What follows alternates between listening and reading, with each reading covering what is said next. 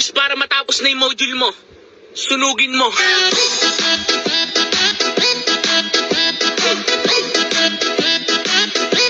Tapos ibigay mo yung abo sa teacher mo.